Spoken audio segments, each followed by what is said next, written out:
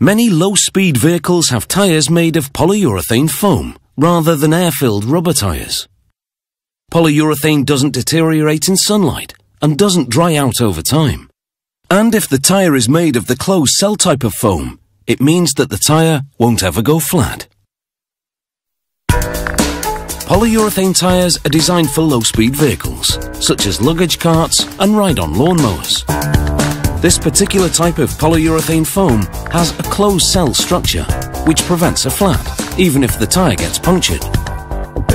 Millions of air bubbles encapsulated within the foam give it the required bounce factor. The first step is to take an aluminium model of the tyre and make a production mould with it. This tyre is for a forklift. The mould will have two halves, each one lined with a tread ring to prevent the cast tyre from getting stuck in the cavity. To make each half of the mould, they centre the model in a base. Then fill the space around it with polyurethane elastomer. This is a solid type of polyurethane, as opposed to the foam type that they use to cast the tyres. They stir gently to move air bubbles to the top. Then heat those bubbles with a small propane torch to burst them.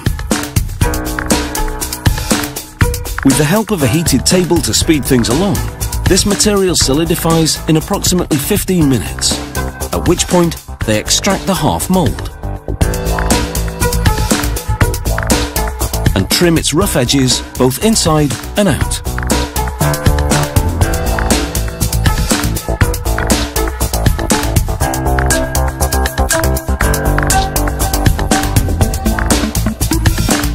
Then they marry the two halves and the production mould is ready. Most companies buy foam mixtures ready-made. This one blends its own in order to have a strict control over the formula.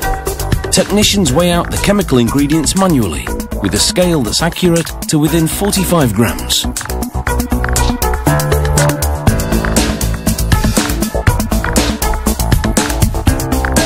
A blade mixes the ingredients for half an hour moving everything from top to bottom more than 300 times.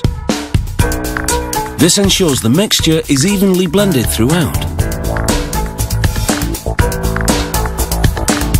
Before using this foam to cast the tyres, there's a quality control test. They take a sample from the batch and let it rise and set, which takes about a minute.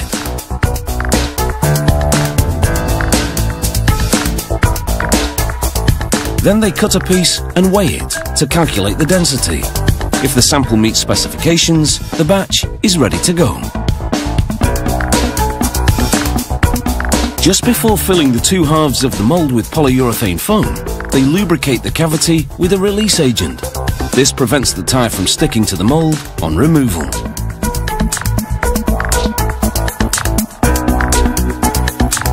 A press keeps the mould closed and in place on the filling machine.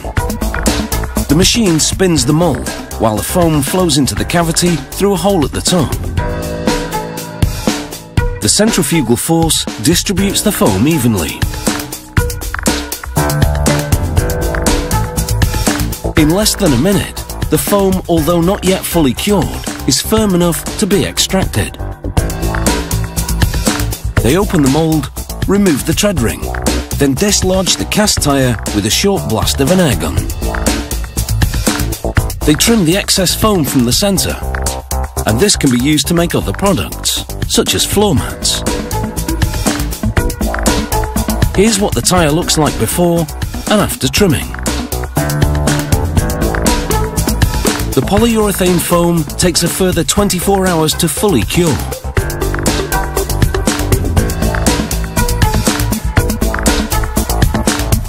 Rim installation is simple. They place the rim on a base, followed by a mounting cone, then the tyre. A press snaps the centre of the tyre over the edge of the rim. Besides making the tyre flat resistant, the closed cell structure of this polyurethane foam doesn't absorb water, meaning wet conditions don't hamper their performance.